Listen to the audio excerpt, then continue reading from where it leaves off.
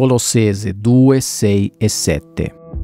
Come dunque avete ricevuto Cristo Gesù, il Signore, così camminate in Lui, radicati, edificati in Lui e rafforzati dalla fede, come vi è stata insegnata, abbondate nel ringraziamento.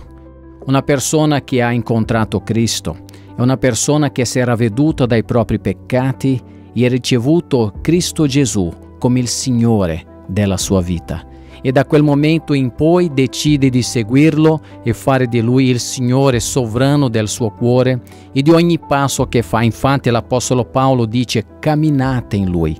Un credente sa che la vita è fatta di un passo dopo l'altro. La vita, la nostra esistenza è paragonata al camminare. E allora l'Apostolo Paolo ci ricorda oggi che noi dobbiamo camminare con il Signore. Come devo camminare con Cristo?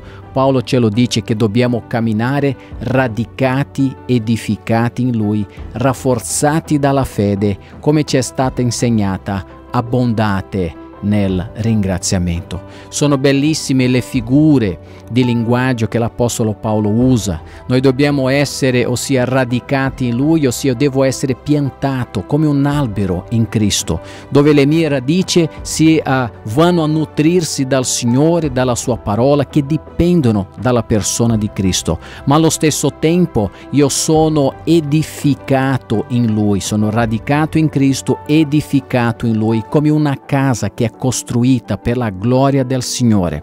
Sono piantato, sono saldo, ma io cresco come un edificio che viene costruito giorno dopo giorno. E non soltanto questo, ma anche una vita che è insegnata, che è stata insegnata nella parola del Signore, che è confermata giorno dopo giorno nella parola di Dio come un documento che attesta la verità.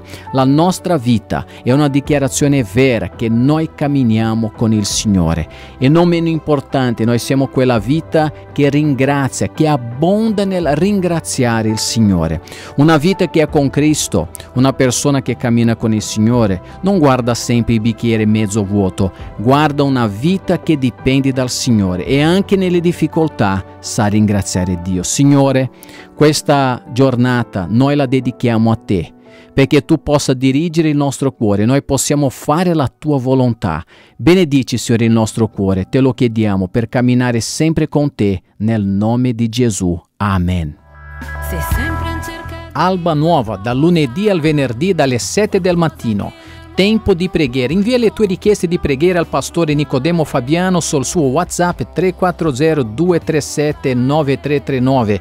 Noi pregheremo insieme. Io pregherò per te nell'amore e nella potenza di Cristo Gesù per avere comunione con Lui.